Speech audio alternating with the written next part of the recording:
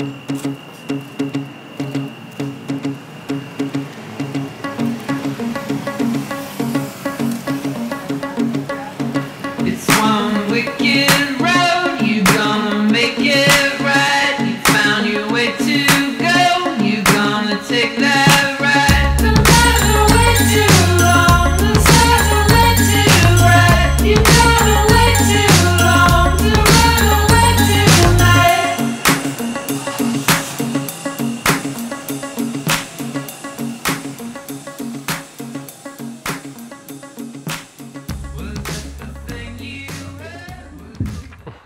Eh, egunon, eta ongi etorriak eh, gaurko prentsaurrekora.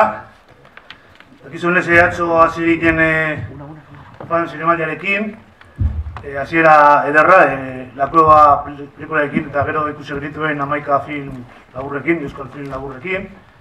Gaure zinemaldiak jarraipena dauka, film labur gehiago ikusteko aukera daukiko dugu, eta beste proposamen batzuk.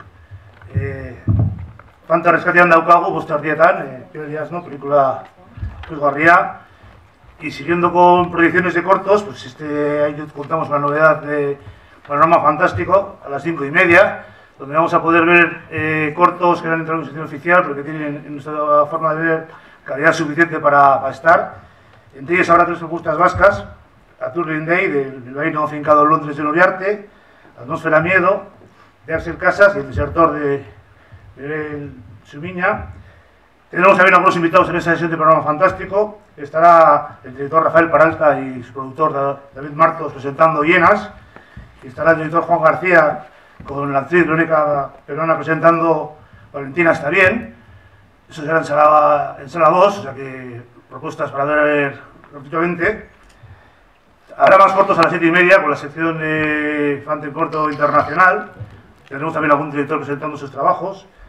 Estará Rafael, estará, perdón, eh, Iván Villamel presentando Mr. Denton y estará Daniel Romero presentando No vienes ahí. También tendremos esta sesión gratuita más cortos con la sección de, con el concurso de Lonche Filma presentando los trabajos sele- seleccionados donde daremos a conocer los premios de este concurso.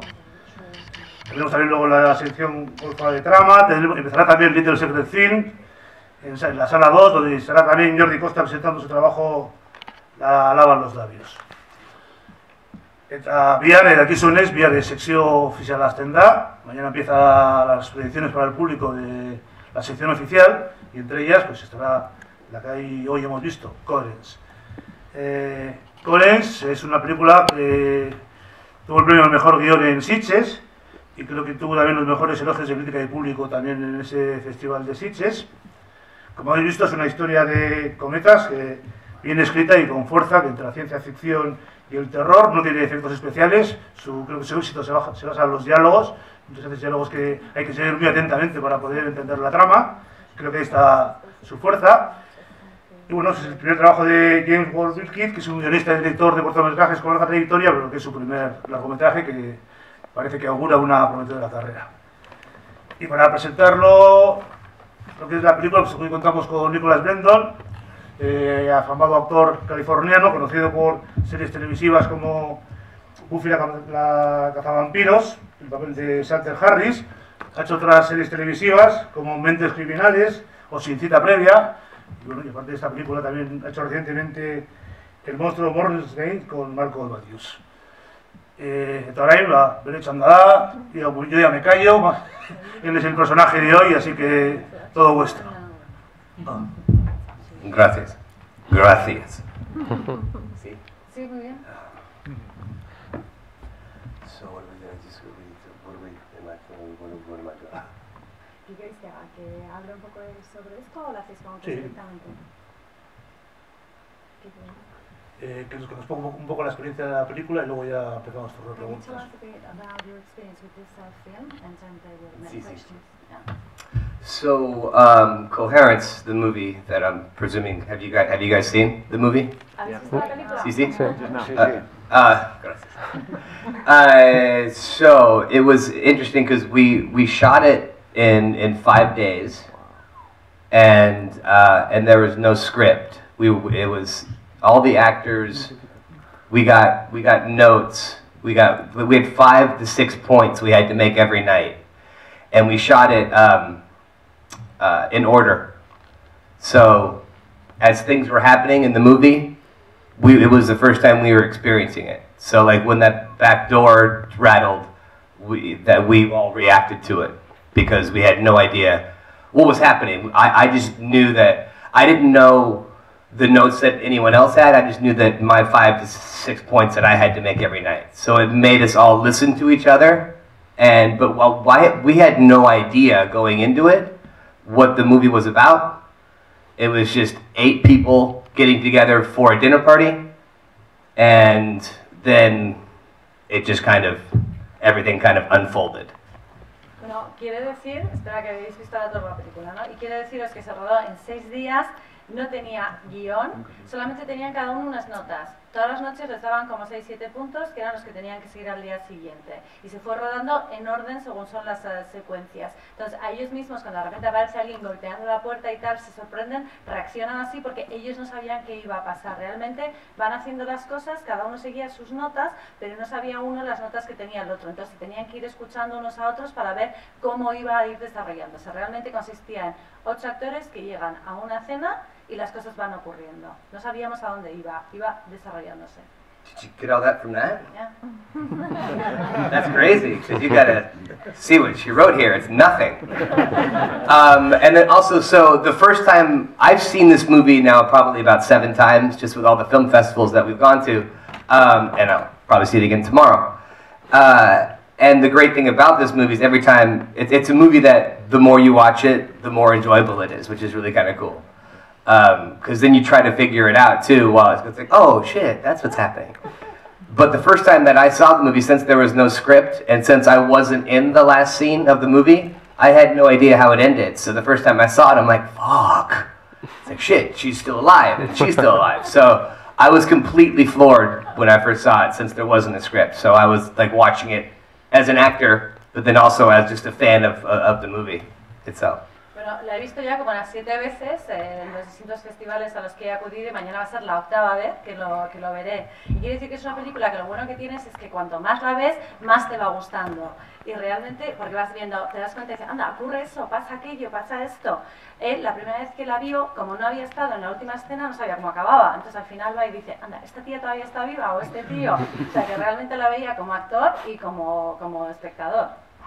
And it was kind of interesting just because, you know, essentially I've known Jim, the director, for um, about, about, about 10 years. And um, so he, he had me essentially play myself, except that I wasn't in Buffy, I was in Roswell. And, and I, um, I am a recovering alcoholic as well. So it's kind of when, and when I drink, I get very angry. So it was kind of strange to, cause I, I, I never really talked to Jim about my, my, my drinking stuff. They just, people just knew that I didn't drink. So here, here, here I am playing me, you know, and kind of having a, a very cathartic moment. Since Jim and I had never talked about it, I didn't even think it was on his radar, but it was on his radar because there I was playing an alcoholic TV actor. Bueno, yo eh, conocía a Jim, al director, desde hacía 10 años. Y entonces ahí me pone a mí a hacer de mí mismo, lo que pasa es que no hacía de Buffy, sino que hacía de Roswell. Y realmente eh, hago, sabéis que yo he estado en recuperación del alcohol, he tenido una terapia, entonces cuando bebo me enfado mucho, me cabreo mucho. Y entonces yo era algo de lo que nunca había hablado a Jim y pensaba que él no sabía nada de esto, pero sin embargo sí que sabía, sí que estaba al corriente y ahí me hace hacer de mí mismo y actuar de esta manera. Now that being said, are there any good bars around here? Hay bares buenos por aquí dicho esto. Many. and do they sell tapas at these bars? Y ponen tapas, ¿sabéis? pinchos, we call them pinchos here. Pinchos? Yeah. Well, because in America, like, pinche is different. Tiene, claro, que en Estados Unidos. Yeah, because I know, like, I know Mexican. Spanish. You know, I, I I don't really know Spanish Spanish. So I'm trying to talk to people uh, in stores, speaking my slang, like you know, like like you know, we have like we have Bloods and and Crips, you know, gangs, and that's where I learned my because I'm from LA, born and raised. So I'm speaking a slang Mexican Spanish to people who work in shops here, and they're just not understanding it. They're like saying, "Get out." I'm like, "Okay, do you speak Spanish?" I mean, do you speak English? No, we don't speak English. I'm like, okay. I just want to buy a juice. That's all I want is a juice. How do you say apple juice, by the way?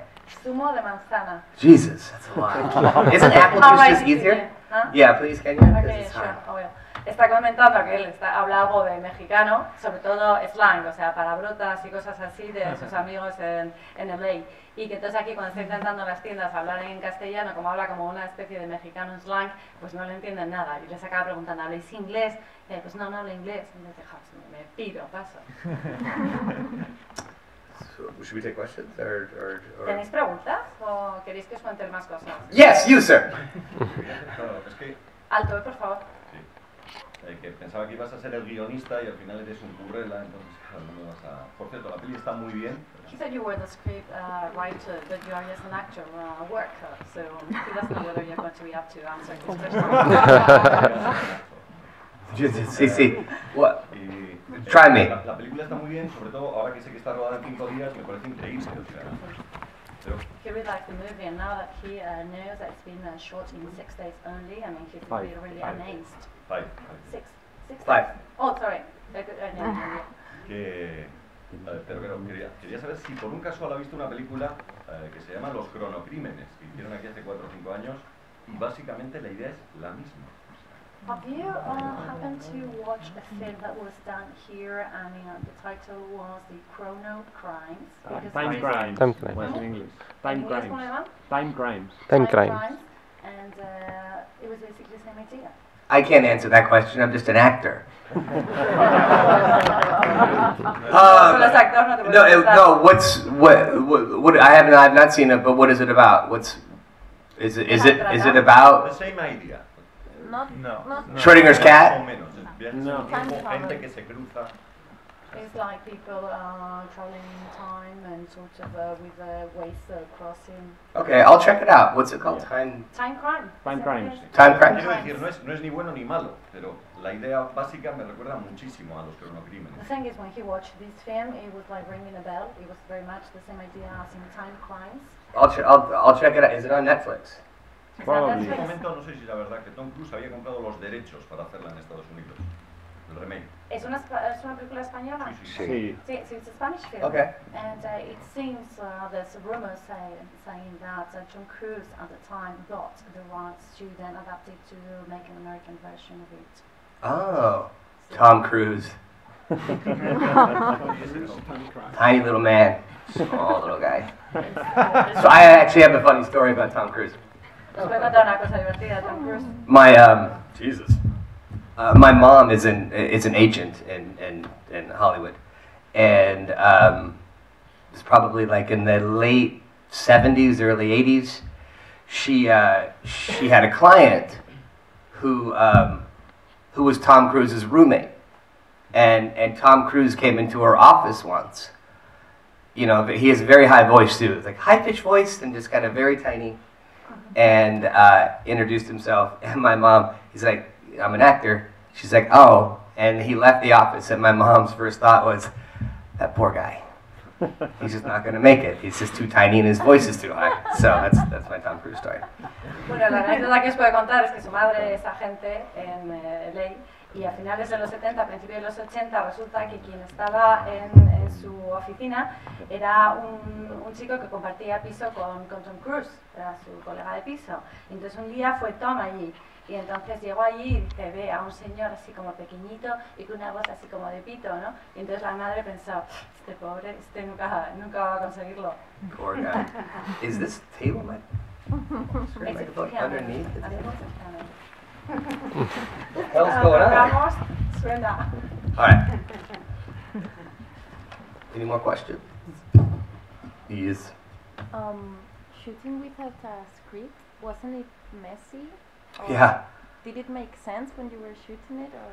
Well, yeah, I mean, it did, because, I mean, we obviously knew what was, as things were happening, we had to react to those things. So it almost made more sense because when, we, when you shoot, whether it's a movie or a TV show, obviously we read the script first, but we shoot everything out of order. So, you know, this was great because it was all done, you know, and, and oh, god damn, I've had five hours sleep in the last two days. Um, cons- what's the word?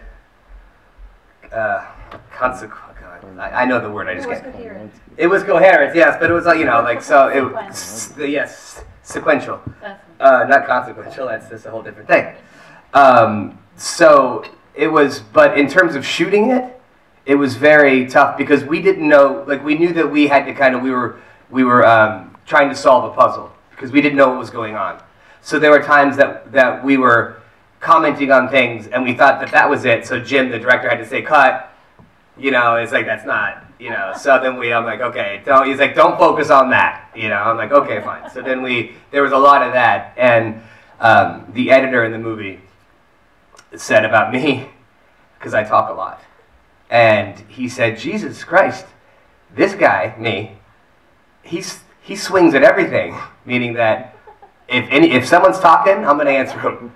You know, so it was kind of funny. So there was a lot. There was hours and hours and hours and hours of footage that um, the editor had to had to work uh, work through, and uh, and Jim uh, Jim was um, uh, Gore right hand man through all of the uh, Pirates of the Caribbean movies and stuff. So he, he had a lot of contacts, and he called those called in some favors, and the, especially the editor in this movie was like fa- found the movie in uh, in all of this footage, and I that that's crazy to me, crazy. Una cosa, ¿entendéis inglés todo? No, vale. Eh, le he preguntado a ver si fue un poco como lioso rodar sin guión. Entonces he dicho que sí, porque realmente lo que tenía que ir haciendo es reaccionar a lo que iba ocurriendo. Lo que pasa que en cierto sentido eso tiene todavía más sentido, porque cuando tú ruedas una serie de televisión o una película no se ruedan las secuencias en el orden en el que lo vemos. En este caso sí que era todo como algo que se iba desarrollando, ¿no? Y eh, no le salía a decirlo precisamente porque solo dormía cinco horas con el jet lag, etcétera. Y entonces dice que en este caso era algo secuencial, no consecuencial, que sería otra cosa, sino secuencial. Y que resultó realmente muy difícil rodarlo así, porque ellos eran conscientes de que estaban como componiendo las piezas de, de un puzzle.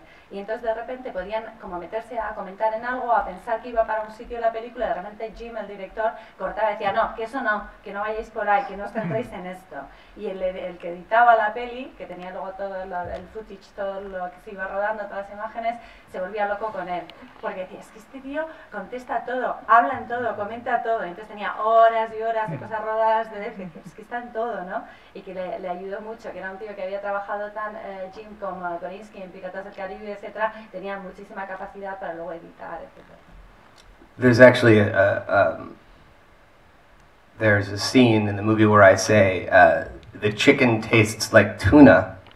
It must be the yeah the comment. And what had happened was um, Lorene, who played who played my wife, the uh, the first chicken because she actually the, the cool thing about it was Lorene went. This is all shot at Jim's house, and so Lorene would go to work a little early, and she would cook the whole meal. So like she even she made the chicken, like you know she made the salad. So it was really like a dinner party, and it was, it was quite quite intimate. But the first time she made the chicken, she doesn't really cook much. There, there's a plastic bag. I don't know how it is here in Spain, but in America they put a plastic bag with like the innards inside of it, so that you take it out to make maybe a gravy or something. She wasn't aware of this, so she cooked the chicken with the plastic bag still stuffed in it. So that kind of became a joke where it's like, then all of a sudden she cooked it with a, like a can of tuna inside. So that's why that, that's where that line came from because she, she she's not a, a great a great cook. Hay una escena en la que él dice, este pollo sabe a bonito. Y es porque Lauren, ella misma, se rodó todo en casa de Jim. Y entonces Lauren, ella misma, es la que llegó allí y hizo toda la comida, pero lo hizo todo seguido. Hizo la ensalada, hizo el pollo, etcétera Y no es muy buena cocinera, no tiene mucho callo. Entonces allí en Estados Unidos te venden el pollo y te venden con una bolsita dentro, pues con los, con los interiores, para que luego tú puedas hacer igual un relleno o lo que quieras. Y ella no sabía que había que quitarle el plástico, y lo cocinó con plástico. Así que sabía que yo dijo, esto sabe a pescado, a bonito, o yo qué sé. She actually I think has my my because like all of our jokes